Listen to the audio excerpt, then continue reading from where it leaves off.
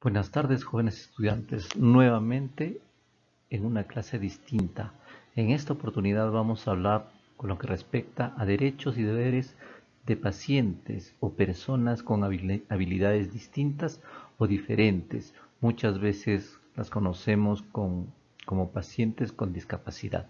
Bienvenidos a esta nueva ruta. A manera de introducción, vamos a lecturar lo que se refiere a la historia de El Olvidadizo. Tenía un paciente que aseguraba que no podía doblar la rodilla y le pedí que se quitara los pantalones para poder examinar su pierna. Tras hacerlo, la razón por la que no podía moverla era porque tenía una escayola alrededor de ella. Al revisar sus citas, vi que en el hospital le habían mandado varias cartas para que viniera a que se le retirara.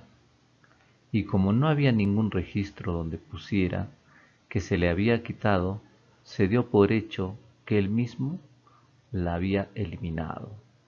Fíjense jóvenes, este paciente tenía una habilidad distinta diferente, se olvidaba de las cosas, tanto así que no se acordaba o no se acordó de las citas para que él pudiera retirarse esta escayola y le incomodaba. Por eso va al establecimiento a manifestarles que no podía caminar. Un simple hecho de que puede olvidar algo o alguien cambia todo la forma de la atención del usuario. Eso no quiere decir que vamos a discriminarle nosotros tenemos que atender al usuario como cualquier otro, con el mismo respeto, ser cordiales, ser atentos, como si fuera un familiar de nosotros. Una habilidad distinta no hace que lo juzguemos. Las personas con habilidades distintas tienen una infinidad de derechos. De eso nace la pregunta ¿Cuáles son los derechos que tienen las personas con discapacidad? Primero, reconocimiento de la discapacidad. La persona con habilidad distinta tiene derecho a ser evaluado médicamente, tanto en el sector público como en el sector privado, para obtener la calificación de la discapacidad o de la habilidad distinta.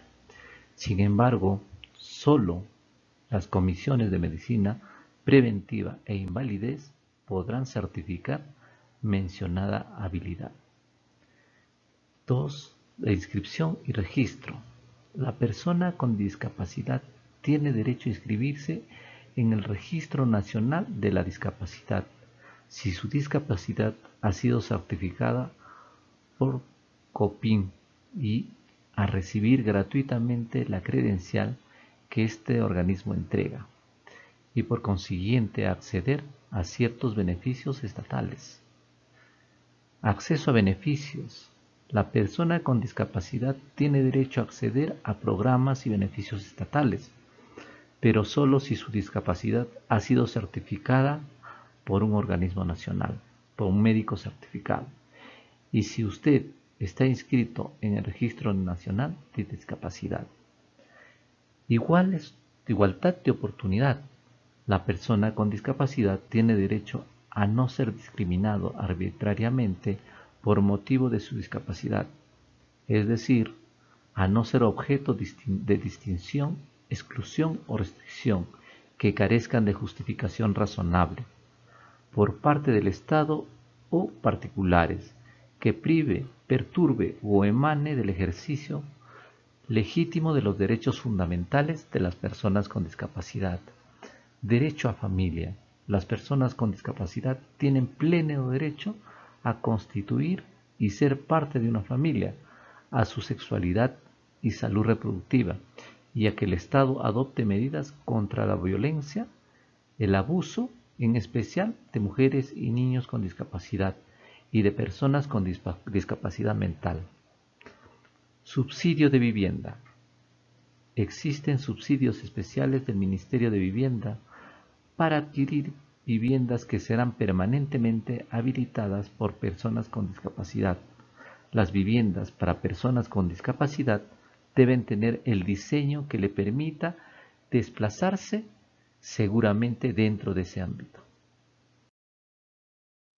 También tiene derecho al fomento deportivo, es decir, del Estado el fomento y la promoción de las actividades deportivas, en especial a favor de las personas con discapacidad. Asistir para votar.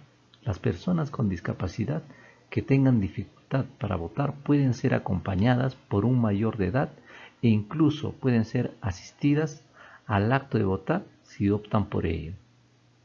Acceso a locales de votación. Los locales de votación deben tener acceso expeditos para las personas con discapacidad. Votar sin presiones. Existen sanciones penales para quienes impidan, obstaculicen o dificulten maliciosamente el voto de un elector con discapacidad. También para quienes presionen a la persona con discapacidad a su asistente. De la misma manera, tiene derecho a ser tratado con confidencialidad.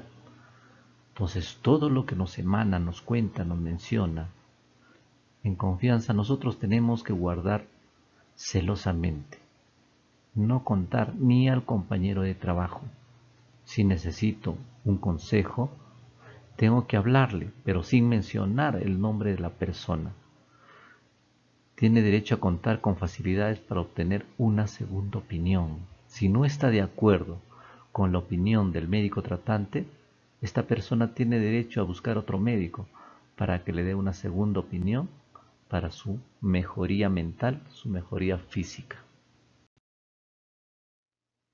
No solamente tiene derecho a recibir una atención médica transeúnte, sino también tiene derecho a recibir esta atención médica en caso de una emergencia, de una urgencia, a ser tratado por igual, a contar con una historia clínica o muchas veces conocido con un expediente que sea individual y ahí debe estar registrado todas las actividades que esté inmerso este usuario. De la misma manera que tiene derechos estas personas con habilidades distintas, también tiene deberes. Dentro de ellos podemos nombrar procurar el cuidado de su salud y la de su comunidad, promoviendo al máximo sus capacidades prácticas, estas que conduzcan a su independencia y autocuidado entendiendo este último como un conjunto de acciones seguras que propician un estilo de vida saludable, a asistir de forma cumplida y puntual a las sesiones y encuentros programados dentro del plan de intervención formulado por los profesionales para la rehabilitación frente a su discapacidad o requerimiento, a poner en práctica las recomendaciones formuladas por los profesionales de la salud y personal administrativo de la institución, facilitando así el proceso de atención de salud, a, coparticipar junto a su familia en el proceso de atención en salud, adelantando en la institución, procurando al máximo de sus capacidades suministrar información veraz y adoptar una buena disposición durante el desarrollo de estas intervenciones. De la misma manera que recibe un trato justo, estas personas también deben dar un trato respetuoso, digno y sin discriminación a los integrantes del equipo médico, cumplir con el pago de los servicios médicos que le han facilitado, también a cumplir a los planes caseros y recomendaciones formuladas por los profesionales de la salud, a tratar con dignidad y respeto al equipo profesional como mencionamos, a cuidar y hacer buen uso durante la prestación de los servicios de salud de los recursos, instalaciones y dotaciones de la instalación, a respetar la intimidad del proceso de atención e historia de vida de los demás usuarios de la institución. Tiene el deber de informarse acerca de los horarios de la atención y los procesos de canalización de sugerencias y de reclamos, en caso no le hayan comunicado. Él tiene el deber de investigar, de averiguar. También tiene el deber de cuidar y hacer buen uso de las instalaciones del establecimiento de salud. No dañarlas, no maltratarlas. Tiene que cuidarlas como si se fuera parte de él. Por A o B, si es que tuviera algún efecto contraindicado de acuerdo al uso de medicamentos, el paciente tiene el deber de informar de inmediato los efectos adversos que causen los medicamentos recetados.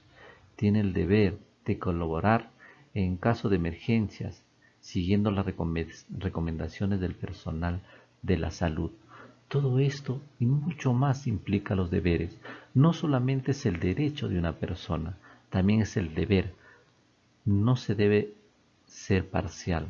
Por más que esta persona tenga habilidades distintas o diferentes, tiene obligaciones y tiene también de derechos. Recordemos que el derecho de uno comienza cuando termina el deber del otro o viceversa. El deber de uno comienza cuando termina el derecho del otro. A ver jóvenes, ¿cómo nosotros atenderemos a los pacientes en nuestro servicio? Sobre todo a pacientes con habilidades distintas o diferentes, con cierta discapacidad a un paciente que tenga síndrome de Down, tengo que atenderlo igual, con calidez, e afectividad, respetando su voluntad. Por A o B no tiene decisión propia, tiene que estar a su costado una persona mayor que nos permita trabajar con el paciente. Siempre tenemos que respetarlo, ser cálidos, darles la seguridad el procedimiento que estamos haciendo es para mejor del paciente. Eso nosotros tenemos que garantizar a cada uno de nuestros pacientes, sean con habilidades distintas o sean pacientes transeúntes normales entre comillas. Entonces nosotros tenemos que hacer lo adecuado. Llegó el momento de las conclusiones. Se menciona que se deben establecer sistemas de seguimiento y evaluación a fin de evaluar las intervenciones y los resultados de salud a largo plazo de las personas con discapacidad. Es preciso incluir a las personas con discapacidad en las investigaciones sobre los servicios generales de salud.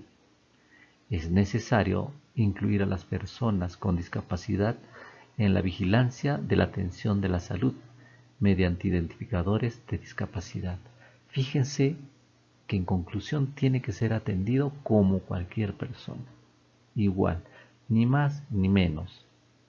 En algunos momentos, de repente, si es que es adulto mayor, es gestante, lo máximo que podemos hacer es brindarle una atención preferencial que está establecido por norma.